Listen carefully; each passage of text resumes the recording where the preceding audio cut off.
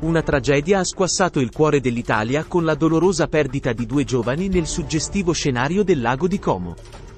Una coppia, nel tentativo di vivere una serata romantica, ha perso la vita tragicamente annegando nelle acque gelide dopo aver sfondato un parapetto e precipitato. È un evento che ha colpito profondamente il paese, e oggi cercheremo di svelare i primi dettagli di questa tragica vicenda. Prima di proseguire, vi chiediamo di iscrivervi al nostro canale e attivare la campanella delle notifiche per restare sempre aggiornati. Le operazioni di recupero dei corpi, condotte con grande impegno dai sommozzatori, hanno richiesto ore di sforzi intensi.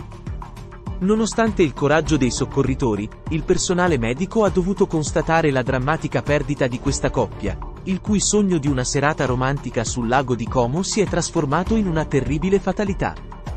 Gli investigatori stanno attivamente lavorando per comprendere la dinamica dell'incidente e le cause dell'annegamento.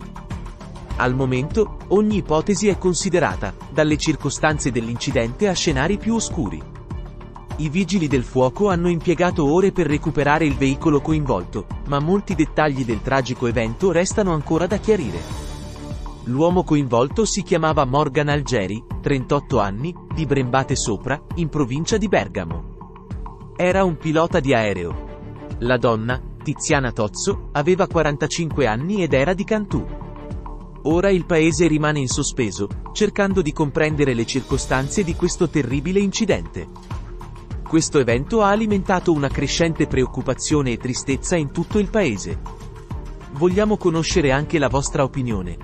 Cosa pensate sia accaduto? Fatecelo sapere nei commenti. Iscrivetevi al canale e attivate la campanella delle notifiche per non perdere i prossimi aggiornamenti su questa triste vicenda.